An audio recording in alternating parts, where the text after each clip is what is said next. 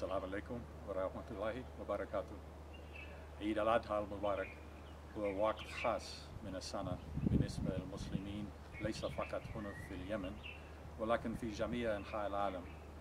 أنا هو الوقت الذي يتعامل فيها العبد رحمة الله وأفضله أفضله عليه في عالمنا اليوم هناك كثير من الانقسامات ولكن الأعياد مثل عيد الأضحى تذكرنا جميعا. بإنسانيتنا وقيمنا المشتركة وعملنا في المستقبل.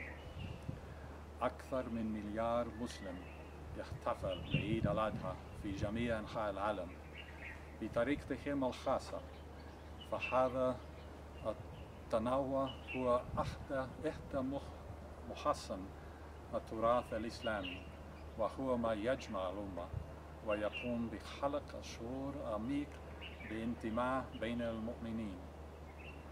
فكان لي شرف العيش في العديد من البلدان الإسلامية المختلفة خلال مسيرتي المهنية وقد تقسمت مع أصدقائي وجيراني المسلمين عاداتهم وتقاليدهم في هذا العيد.